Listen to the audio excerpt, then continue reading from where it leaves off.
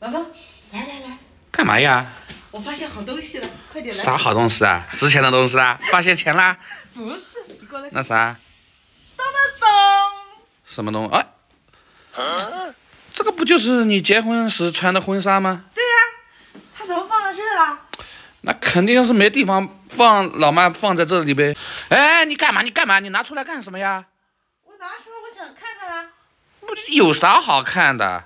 以前嘛叫你别买别买，你非要买。你看，这十年一直放在这里啊，就穿了一次就没不不穿了，多浪费。哎呀，你这个婚纱买的也不贵呀，你你如果去租的话也要不少钱呢。那租的话几百块，你这个买了一千多吧？对啊。我知道。谁说的？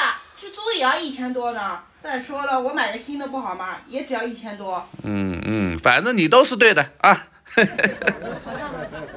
嗯，以前穿的是挺漂亮的，现在就说不来了。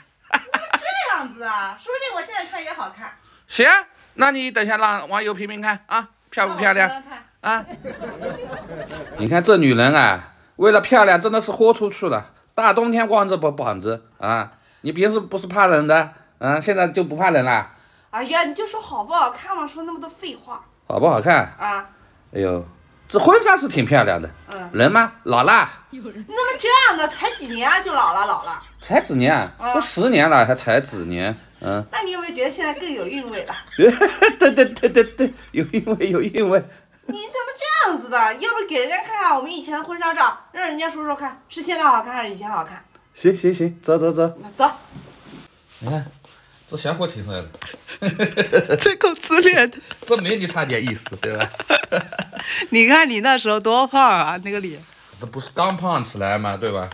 刚开始发福，那个时候，嗯，那个发型好帅啊，是吧？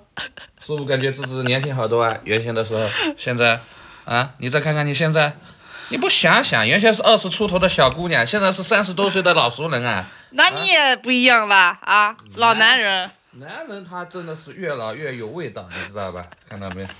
那个时候显年轻，嗯，对吧？是不是？嗯。